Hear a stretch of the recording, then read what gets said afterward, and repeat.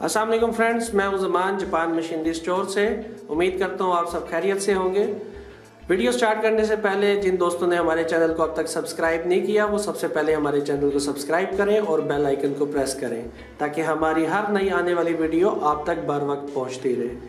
تو دوستو، آج ہم آپ کے ساتھ جو اپنی ایک نئی پروڈکٹ شیئر کرنے جا رہے ہیں، اس کا نام بیسیکلی یوریا انجیکشن ہے۔ سب سے پہلے آپ اس کی ورکنگ ویڈیو دیکھیں، پھر اس کے بعد میں آپ کو اس پروڈکٹ کے بارے میں مزید ڈیٹیل دیتا ہوں۔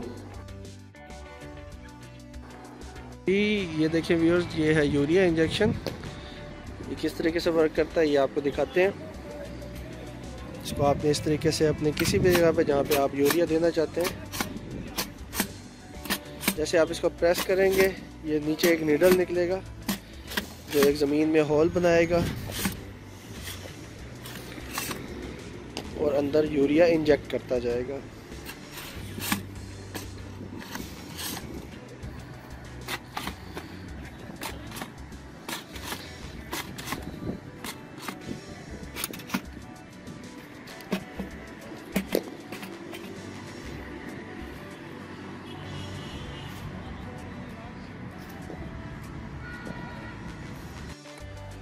تو جی ویورز، آپ نے اس کی ویڈیو ورکنگ ویڈیو دیکھی؟ ابھی اس مشین کو کس طریقے سے یوز کرنا ہے آپ نے ویڈیو کے اندر بھی دیکھ لیا ہوگا۔ مزید شان صاحب آپ کو اس کو بتاتے ہیں کہ اس کو کس طریقے سے ورک کرنا ہے۔ آپ اس کے اندر اپنا یوریا کھاد، ڈی اے پی، کوئی بھی اس کے اندر ڈال سکتے ہیں۔ جیسے کہ یہ آپ کو شان بھی دکھا رہے ہیں کہ اس کے اندر اوپر ہولز بنے ہوئے ہیں۔ یہاں پہ آپ اس جگہ سے اس کے اندر اپنا جو بھی سیڈ وغیرہ ہے، اس کو آپ اس کے اندر ڈال لیں گے۔ اس کے بعد اس کا ایک پمپ والا سسٹم ہے۔ یہ دیکھیں، جیسے کہ آپ اس کو پریس کریں گے تو نیچے سے ایک نیڈل نکلتی ہے۔ جیسا کہ آپ یہ دیکھ رہے ہیں، یہ نیڈل ہے۔ اس نیڈل کا کام یہ ہے کہ اس نے زمین کے اندر ہول کرنا ہے اور جیسے یہ نیڈل واپس جائے گی، تو بیچ میں سے جو کھاد یا ڈی اے پی جو چیز بھی آپ اپنی مطلب زمین کے اندر انجیکٹ کرنا چاہتے ہیں، وہ زمین کے اندر چلی جائے گی۔